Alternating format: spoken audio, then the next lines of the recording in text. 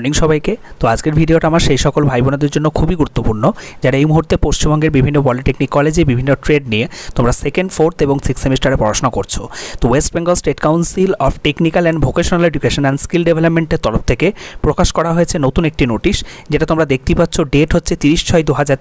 অর্থাৎ ইন্টারনালি কিন্তু thirty June two এটা পাবলিশ করা হয়েছে এবং পরবর্তীতে কিন্তু বিভিন্ন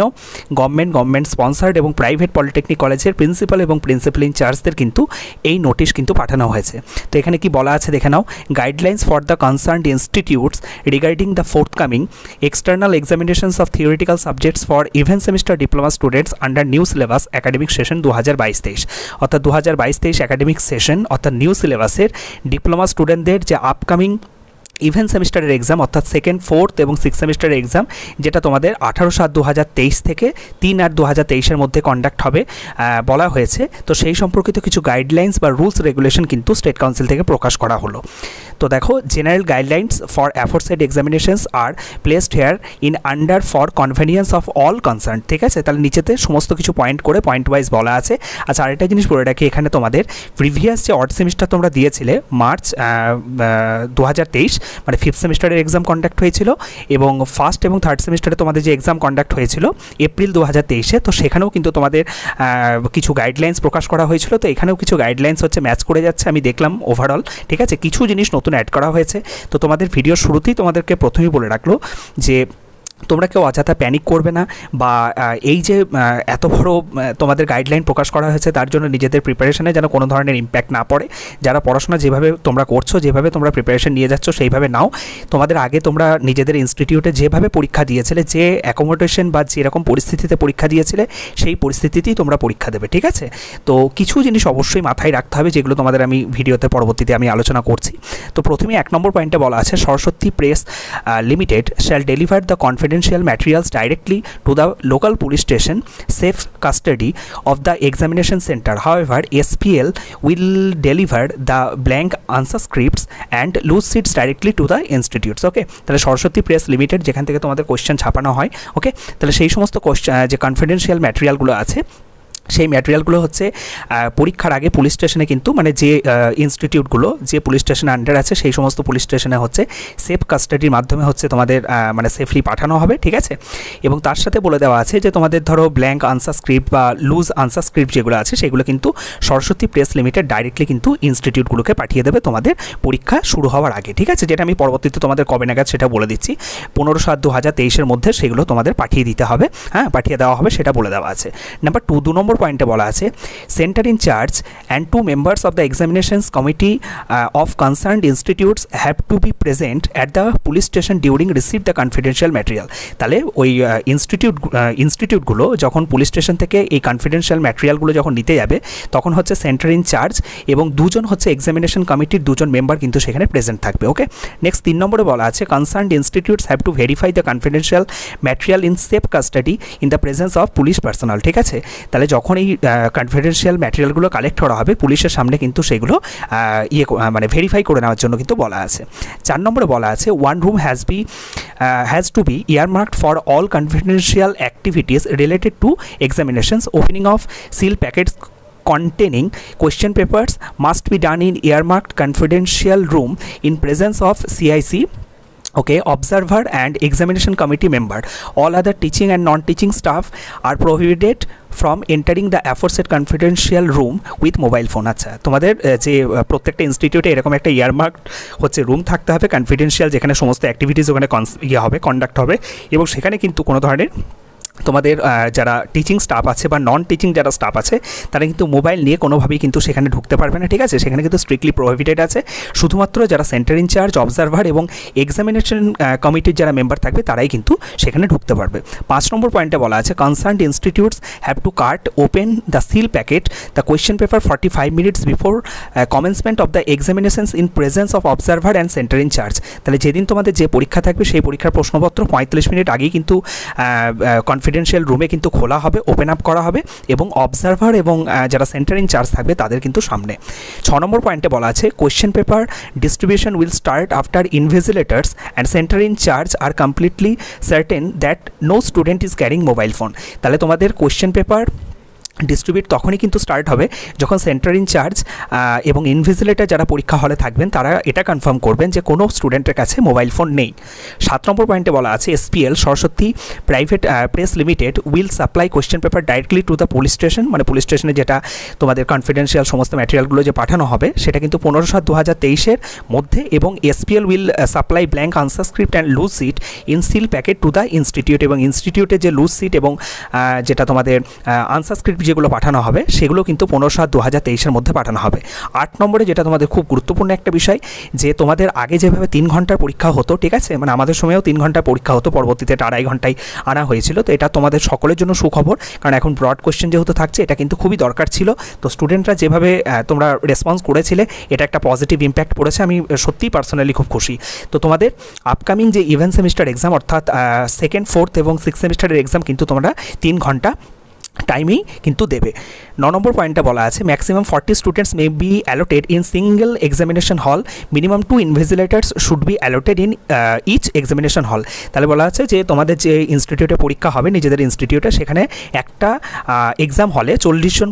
পরীক্ষার্থী ম্যাক্সিমাম হচ্ছে বসতে পারবে এবং সেখানে কিন্তু মিনিমাম দুজন ইনভিজিলেটার থাকতেই হবে। দশ নম্বর পয়েন্টে বলা আছে student will not allowed to enter the examination hall if they are found to possess any anything other than admit card non-programmable calculator pen pencil and instrument box due checking should made before uh, entering the examination hall by the students ঠিক আছে তাহলে একজন student হচ্ছে তোমাদের যখন examination examination হলে যখন ইয়ে করবে, প্রবেশ করবে, ঠিক আছে? তাহলে তাদের admit card non programmable calculator pen pencil instrument box এগুলো ছাড়া কিন্তু অন্য কিছু নিয়ে যেতে পারবে না ওকে তার আগে কিন্তু তোমাদের চেকিং করা হয়, যেটা কিন্তু পরবর্তীতে একদম ক্লিয়ারলি মেনশন আছে, সেটা বলে দিচ্ছি। এগারো নম্বর পয়েন্টে বলা আছে students who have power correction glasses will only be allowed to wear spectaculars glasses okay তাহলে যে সমস্ত স্টুডেন্টদের চোখে প্রবলেম আছে বা চোখে যদি পাওয়ার থাকে, তারাই কিন্তু গ্লাস ইউজ করতে পারবে। বারো নম্বরে বলা আছে no bags books will be allowed in the main examination venue তাহলে তোমাদের যে ঘরে পরীক্ষা হবে বা যে এক্সাম হলে পরীক্ষা হবে, সেখানে কিন্তু কোনো ধরনের ব্যাগ বা বুক কিন্তু তোমরা যেটা সঙ্গে নিয়ে যাবে, সেখানে কিন্তু রাখা যাবে না। তেরো নম্বর পয়েন্টটা বলা আছে to prevent entry to the examination centre with mobile phone centre in charge is requested to inform student in অ্যাডভা advance that the student will not enter the examination centre with mobile phones ঠিক আছে? আচ্ছা তাহলে তোমাদের যে centre in charge যিনি থাকবেন বা ইনভেস্টিলেটার যারা থাকবেন, তারা কিন্তু তোমরা তোমাদের কাছে যে মোবাইল ফোন রাখবে না, সেটা তোমাদেরকে আগেই অ্যাডভান্সলি বলে দেবে। If any one caught entering the examination centre with mobile phone then students examination will be cancelled and concerned student will be debarred from taking examinations, for which neither the centre charge nor council will be responsible, ঠিক আছে? এবং সেই মানে যদি কোনো স্টুডেন্টকে পরীক্ষা চলাকালীন মোবাইল ইউজ করতে দেখা যায়, তাহলে কিন্তু সেই স্টুডেন্টকে কিন্তু পরীক্ষাটা ক্যান্সেল করে দেওয়া হবে এবং সেই স্টুডেন্টটা কিন্তু স্টুডেন্টটাকে পরীক্ষা হল ছেড়ে কিন্তু বাইরে যেতে বলা হবে ওকে এবং তার জন্য কিন্তু কাউন্সিল বা সেন্টার ইন চার্জ কিন্তু কোনোভাবেই রেসপন্সিবল থাকবে না। আচ্ছা চোদ্দ নম্বর পয়েন্টে বলা আছে students with mobile phones are strictly prohibited from entering the examination centre আচ্ছা এক্সামিনেশন সেন্টার ঢুকতে পুরোপুরি কিন্তু তোমাদের মোবাইল ফোন নিয়ে ঢুকতে কিন্তু পুরোপুরি মানে যেতে বাধা দেওয়া হচ্ছে বা সেটা যাতে নিয়ে না যাও, সেটা বলা হচ্ছে strict mobile phone taking study to be done at the main gate আচ্ছা এটা তোমাদের প্রিভিয়াস এক্সামের যে গাইডলাইন ছিল অড সেমিস্টারে সেটাই বলেছে বেসিক্যালি ঠিক আছে? তো চোদ্দ নম্বর পয়েন্টে যেটা, যে যারা লেডি স্টাফ থাকবে, ঠিক আছে লেডি স্টুডেন্ট মানে যারা মেয়ে স্টুডেন্ট থাকবে, ঠিক আছে, তাদের ইয়ে করা হবে চেক করা হবে মেন গেটের সামনে এবং যারা ছেলেরা হচ্ছে, ছেলেদের হচ্ছে যারা ইয়ে থাকবে তোমার জেন্টস স্টাফ যারা থাকবে, তারা হচ্ছে বেসিক্যালি চেক করবে, ঠিক আছে, তোমাদের ইনস্টিটিউটের মেন গেটের সামনে, এটাই বলা আছে, আর কিছুই না, এটা তোমাদের অ্যাজ ইট ইজ সেম লেখা আছে। পনেরো নম্বরে বলা আছে concern teaching or non teaching staff who are engaged in examination work should not leave examination centre after examination examination has started আচ্ছা। তো এক্সামিনেশন যখন তোমাদের স্টার্ট হয়ে যাবে, ঠিক আছে, তারপরে কিন্তু এক্সামিনেশন মানে পরীক্ষার সাথে সংযুক্ত যে সমস্ত ব্যক্তিবর্গগণ থাকবে, তারা কিন্তু কোনোভাবেই কিন্তু পরীক্ষা হল ছেড়ে বেরিয়ে যেতে পারবে না। ষোলো নম্বর পয়েন্টে বলা আছে every centre in charge is requested to take immediate action to mark student R A report against if one of the আচ্ছা if any one of the below mentioned reason occur during examinations এটাও কিন্তু তোমাদের same point যেটা previous গাইডলাইনই তোমাদের কিন্তু ছিল। The reasons আর এক নম্বরে বলা আছে entering examination centre with mobile phone mobile phone নিয়ে কোনোভাবেই তোমাদের এক্সামিনেশন হলে ঢোকা যাবে না। তো এক্সামিনেশন হলে যদি কেউ মোবাইল ফোন নিয়ে ঢোকে, তাহলে কিন্তু তার খাতা আড়ে করে দেওয়া হবে। Cheating and other malpractice or using dishonest means ঠিক আছে? যদি চিটিং বা ম্যাল প্র্যাকটিস করতে গিয়ে কেউ যদি ধরা পড়ে harassing invigilator or staff by students ঠিক আছে? কোনোভাবে যদি ইনভেজিলেটার বা স্টাফ বা পরীক্ষার সঙ্গে যারা যুক্ত আছে, তাদেরকে যদি কোনোভাবে হ্যারাস করা হয়, চার নম্বর বলা আছে destroying the examination centre's property examination সেন্টারে যে প্রপার্টি সেগুলো যদি ভাঙচুর করা হয়। পাঁচ নম্বর হচ্ছে tearing the answer scripts strictly taking outside examination hall making any incident comments on answer scripts ঠিক আছে? তাহলে এখানে বেসিক্যালি যেটা বলা আছে যে, যদি আনসার স্ক্রিপ্ট ছেড়ে দেওয়া হয় বা তোমাদের আনসার স্ক্রিপ্ট হল যদি পরীক্ষার হলের বাইরে যদি নিয়ে যাওয়া হয় বা তোমাদের আনসার স্ক্রিপ্টে যদি কোনো ধরনের উল্টোপাল্টা কিছু লেখা হয়, ঠিক আছে? যেটা আননেসেসারি মিন করছে। তাহলে কিন্তু তার খাতা আরে করা হবে। ছ নম্বর পয়েন্টে বলা আছে repeated talking with other students in examination hall during examination in ignoring the warning for uh, of invigilators তাহলে ইনভেজিলেটার্স হচ্ছে কেউ যদি কোনো স্টুডেন্ট কোনো স্টুডেন্টের সাথে যদি কথা বলে পাশের স্টুডেন্টের সাথে সেটা যদি বারণ করা সত্ত্বেও বারবার যদি সে তারা সেই কাজটা করে সেক্ষেত্রেও কিন্তু খাতা আড়ে করা হতে পারে ঠিক আছে? সতেরো নম্বর পয়েন্টে বলা আছে use of mobile phones any other communications devices is strictly prohibited in examination hall বারবার এই একই কথা মানে লেখা আছে মোবাইল ফোন তোমাদের ইউজ করা যাবে না। If found source shall be আচ্ছা কনফিস কনফিস্টিকেটেড আচ্ছা বেশ। The concern student must be marks at R A and FIR must be lodged against students who are caught with mobile phone in the examination hall তাহলে যে কোনো স্টুডেন্টের যদি পরীক্ষা হলে যদি মোবাইল দিতে মানে মোবাইল নিয়ে যদি ধরা পড়ে, তাহলে সেক্ষেত্রে তার খাতাটা আড়ে করা হবে এবং ম্যাক্সিমাম এফআইআর পর্যন্ত কিন্তু করা হতে পারে নিয়ারেস্ট পুলিশ স্টেশনে আঠারো নম্বর পয়েন্টে বলা আছে answer scripts of the students marks marks আচ্ছা মার্কড হবে এটা। As R A must be separate packed and necessary proofs must be attached with answer scripts of the concern student তাহলে যে সমস্ত স্টুডেন্টের খাতা আড়ে করা হবে, তাদের খাতা কিন্তু সেপারেটলি কিন্তু স্টেট কাউন্সিলে পাঠানো হবে, কোন অ্যাড্রেসে সেটা নিচে লেখা আছে এবং তার সাথে কিন্তু কোন কারণের জন্য তাদেরকে আড়ে করা হয়েছে সেটাও কিন্তু মেনশন করতে হবে। Written confession of the R A students must also be attached with answer scripts ঠিক আছে, যেটা বললাম sealed packet containing answer scripts of R A students must be sent council's office at Karigari Bhavan fourth floor plot number P slash seven Action Area three New Town Rajarhat Kolkata সাত লক্ষ একশো ষাট by special messenger latest by eight August two thousand twenty three তাহলে সেই সমস্ত খাতাগুলো কিন্তু কারিগরি ভবনের যে অ্যাড্রেস বললাম, সেই অ্যাড্রেসে আট আগস্ট দু হাজার তেইশের মধ্যে কিন্তু পাঠানো হবে ওকে উনিশ নম্বর পয়েন্টে বলা আছে in case there is any competent of lawlessness cheating other malpractice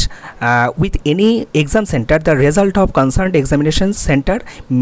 may stand withheld আচ্ছা যদি কোনো মানে স্টেট কাউন্সিলের কাছে খবর যায়, কোনো একটা ইনস্টিটিউট হচ্ছে ইয়ে করছে ম্যাল প্র্যাকটিস বা বিভিন্ন ধরনের চিটিং কিন্তু করছে, ঠিক আছে, কোনো একটা ইনস্টিটিউট লেভেলে তাহলে সেই ইনস্টিটিউটের রেজাল্ট কিন্তু উইথ হোল্ড বা আটকে দেওয়া হতে পারে, সেটা কিন্তু এখানে বলা আছে, যেটা কিন্তু আগেও তোমাদের প্রিভিয়াস ইয়ের ক্ষেত্রেও অড সেমিস্টার এক্সামের যে গাইডলাইন্স ছিল, সেখানেও কিন্তু বলা ছিল। No students will be allowed to sit for examination if he or she appears fifteen minutes after the examination the start of examination তাহলে পরীক্ষা শুরু হওয়ার পনেরো মিনিট পরে কিন্তু আর কোনো স্টুডেন্টকে কিন্তু অ্যালাউ করা হবে না এক্সামিনেশন হলে ঢুকতে। No students will be allowed to leave examination hall whatever purpose without submitting the answer script তাহলে আনসার স্ক্রিপ্ট জমা না দেওয়া ছাড়া কোনো স্টুডেন্ট কিন্তু পরীক্ষা হল ছেড়ে বাইরে যেতে পরীক্ষার হলের বাইরে বেরিয়ে যেতে পারবে না। If any candidates wishes to leave examination hall he or she will be will have to submit the answer script such candidates will not be allowed to rejoin the examination তাহলে বলা হচ্ছে যদি কোনো স্টুডেন্ট স্বইচ্ছায় যদি পরীক্ষার খাতা জমা দিয়ে সে বাইরে বেরিয়ে যেতে চায়, তাহলে সে যেতে পারে এবং পুনরায় কিন্তু সে পরীক্ষার হলে আর ঢুকতে পারবে না বা পরীক্ষায় কিন্তু রিজয়েন করতে পারবে না। অ্যাটেন্ডেন্স শিট আচ্ছা attendance of students must be recorded during the examinations a blank format of attendance sheet is attached here in under as annexure one তাহলে নিচেতে অ্যানেক্সার ওয়ানে হচ্ছে একটা ফর্ম্যাট দেওয়া আছে, যে ফর্ম্যাটে কিন্তু সমস্ত স্টুডেন্টদের পরীক্ষা চলাকালীন যে অ্যাটেন্ডেন্সগুলো নেওয়া হবে, সেগুলো কিন্তু স্টেট কাউন্সিলের কাছে পাঠানো হবে ওই ফর্ম্যাটে যেগুলো তোমাদের জানার বিষয় না, সেগুলো হচ্ছে ইনস্টিটিউট লেভেলে কন্ডাক্ট হবে। চব্বিশ নম্বরে বলা আছে all other modalities of apposite examinations will be same as that odd semester external theoretical examinations held in March April two thousand twenty three তো March April two thousand twenty থ্রিতে তোমাদের fifth semester March two thousand twenty three এবং first এবং third সেমিস্টারের exam যেটা April দু হাজার তেইশে কন্ডাক্ট হয়েছিল। সেই সময় যে গাইডলাইন্সগুলো ইয়ে করা হয়েছিল ফলো করা হয়েছিল বা যে গাইডলাইন্সগুলো অ্যাপ্লিকেবল ছিল স্টুডেন্টদের জন্য, সেগুলো কিন্তু তোমাদের অ্যাপ্লিকেবল থাকবে। এর সাথে, ঠিক আছে? মানে যেগুলো তোমরা এখন নতুন জানতে পারলে, তার সাথে সাথে পুরনো যেভাবে তোমাদের পরীক্ষা হয়েছিল প্রিভিয়াস আর্ট সেমিস্টার সেইভাবেই কিন্তু সমস্ত কিছু কন্ডাক্ট হবে। পঁচিশ নম্বরে বলা আছে after completion of each days examination sorted answer script must be kept in separate packet packet containing answer scripts must be signed by observer and centre in charge আচ্ছা sealed in present of the center in charge observer center uh, examination center immediately after completion of each day's examination each seal packet answer script to of the students must also contain two copies question paper of respective subject standard top sheet as used during previous of uh, offline examinations must be attached on each sealed packet okay তো basically হচ্ছে এটা মানে স্টুডেন্টদের জন্য না, এটা হচ্ছে পুরোপুরি টিচার লেভেলে ইয়ে করা হবে। There will be no separate packet for